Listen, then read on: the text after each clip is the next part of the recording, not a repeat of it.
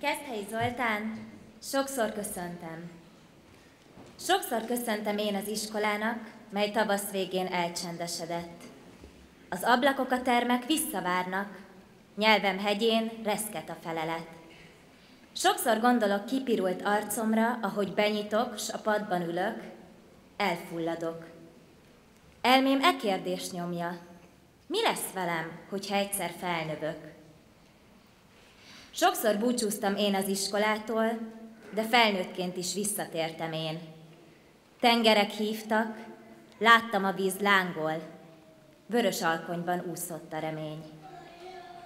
Bejártam már a naprendszer bolygóit, de hallottam, a kisiskola szólít, siessek vissza, siessek haza.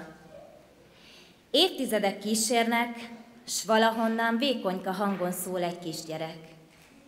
Én szólok-e? Vagy csupán vízhangom? Szorongva nézek, s félve felelek.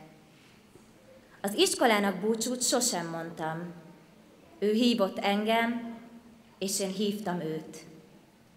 Kapuja előtt állok égő gondban, s nézem az égig hullámzó időt.